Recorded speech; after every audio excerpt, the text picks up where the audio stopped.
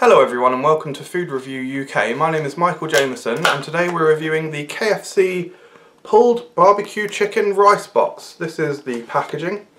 It was £4 and 49 pence, so quite expensive in my opinion.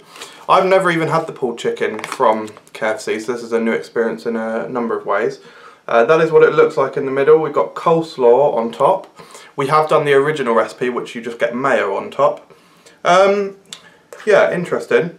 So you got lettuce, coleslaw, obviously the barbecue pulled pork chicken. There's not a huge amount of chicken there from what I can see.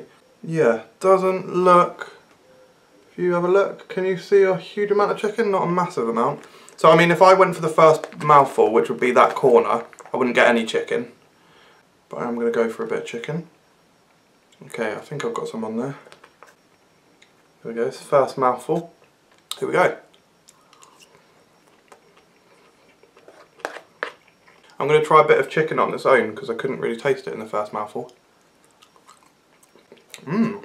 Really nice deep almost hickory smokiness from the from the chicken. It's um a nice texture as well. It's very succulent and soft. Still not thinking there's a huge amount of the chicken in here though.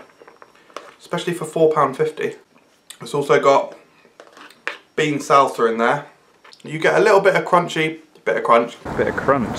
Crunchy texture from the coleslaw hmm but the rest of it is all very soft the flavours do all meld together very well a lot of people get a bit weirded out by barbecue sauce and mayo, which essentially got the creaminess from the mayo on the coleslaw in this and the barbecue sauce or the pulled chicken. But I love it. I think it's an excellent combination. Yeah, superb. Well, so that works well for me. I, I um, yeah, not 100% convinced there is enough chicken though. I do like it, but the problem with it is, it tastes a little unsatisfying. I'm just not feeling satisfied by it. As I say, I tried the original recipe one and that was pretty good. I like the crispiness of the chicken and it all just, it ate nicely. This, I don't know, it, doesn't taste like a fast food meal.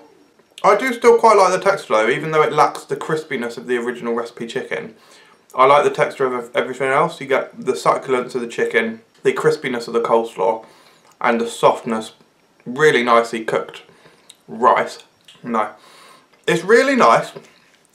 And I like that this is a bit more of a barbecue taste than the last one that we did.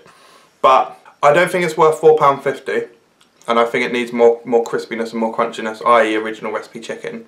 Maybe the original recipe chicken, but with barbecue sauce and coleslaw, would be kind of the best rice box you could do. You could maybe ask for that at KFC. I reckon they might do it. Who knows? But I think that's that's the best way to enjoy a rice box. I'll give this because of the price, I'm going to give it a high three stars. It's, it's good, it's, it's very nice, but it's just slightly undersatisfying and it's too expensive, KFC. But I do like that KFC keep bringing out these new products, even though you could argue this is just a reassembled burrito. At least they're doing something new. And fair play to them because I love that. Thank you very much for watching everyone. Let me know what you thought of this review in the comments below. And have you tried the rice box? The only one that I haven't done is a zinger. I don't actually know what a zinger is. Am I right in saying that it's just a hot version of the original recipe? I don't know. Let me know in the comments. Thanks for watching and subscribe for more videos. I suppose it's not really their fault, but there is a hole in, in the bagel.